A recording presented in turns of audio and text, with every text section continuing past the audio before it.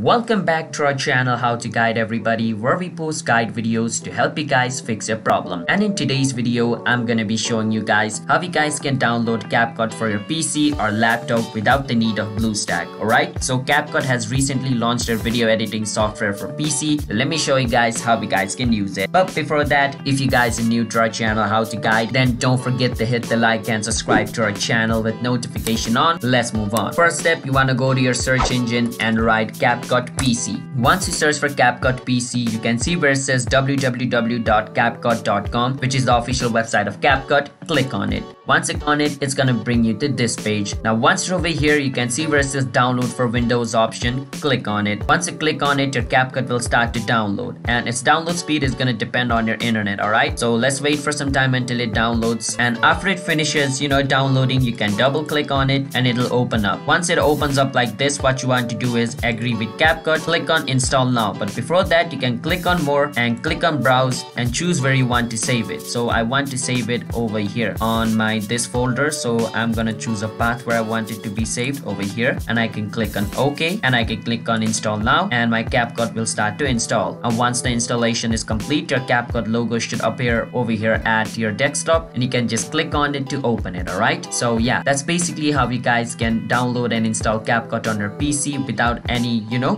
BlueStack needed so if you guys found our video helpful then don't forget to hit the like and subscribe to our channel how to guide I'll see you guys on my future video. Bye bye.